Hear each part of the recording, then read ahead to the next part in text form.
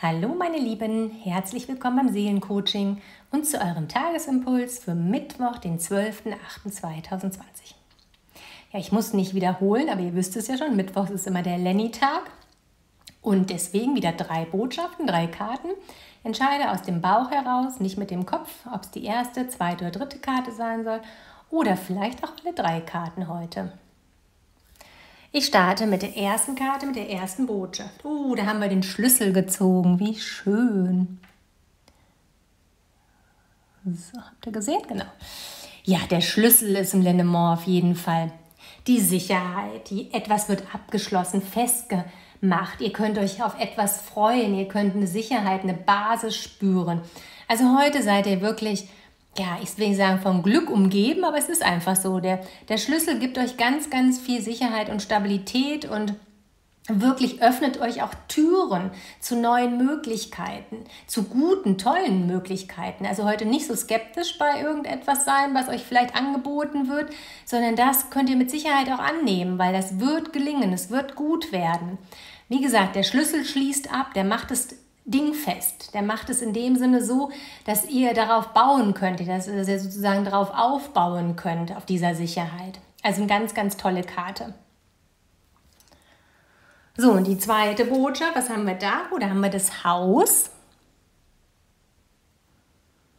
Ja, für dich heute, liebe Karte 2, und wer sich die Karte 2 ausgesucht hat, Heute ist ein ganz schöner familiärer Tag, ein privater Tag. Ich sage ja immer, Familie ist entweder die Ursprungsfamilie oder auch die selbstgewählte Familie. Also ihr seid in der Harmonie, im privaten Umfeld, in der Familie läuft es auf jeden Fall rund. Es muss nicht immer alle Freunde und alle Familienmitglieder mit gemeint sein, aber dein engster Kreis, der gibt dir ganz viel Halt und ganz viel Geborgenheit und du kannst dich darauf verlassen. Vielleicht gibt es irgendein Thema auch, was du gerne mit jemandem besprechen möchtest aus diesem Umfeld. Dann ist es heute der richtige Tag, weil du hast einfach diese Unterstützung aus dem privaten Umfeld. Und es ist heute etwas, vielleicht findet auch heute etwas ähm, oder der ganze Tag vielleicht auch zu Hause statt, so einfach gemütlich und ruhig ich sag mal, gut eingebettet in, in der Familie, gut ähm, ja, in der Wohlfühlatmosphäre. Also ein sehr, sehr schön harmonischer Tag mit den Lieben zusammen.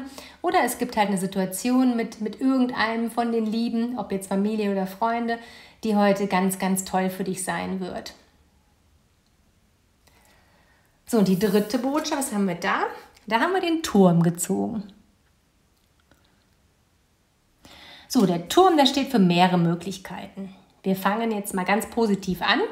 Der steht für die Selbstständigkeit. Vielleicht bist du selbstständig, also ist heute wirklich ein guter Tag, irgendwas in der Selbstständigkeit auch, ja, ich will nicht sagen loszulegen, aber irgendetwas da zu machen, ähm, was du dir vorgenommen hast vielleicht, ähm, das heute auf jeden Fall dann auch ähm, ja, realisieren.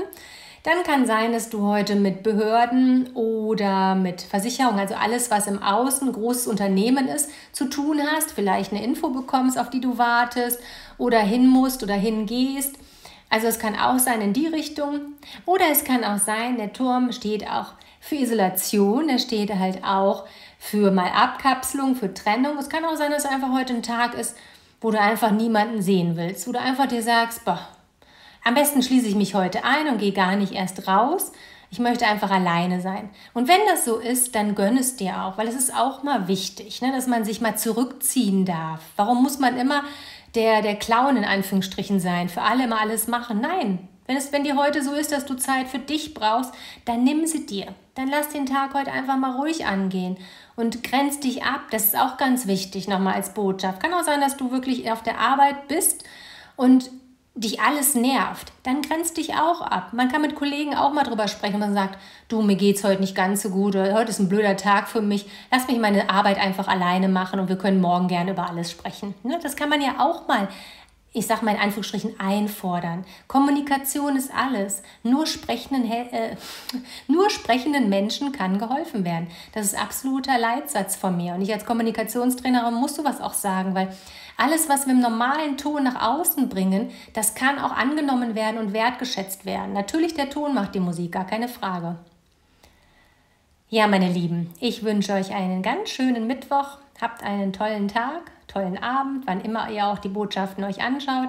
Und ich freue mich, wenn wir uns morgen am Donnerstag hier wieder treffen. Bis dann. Tschüss.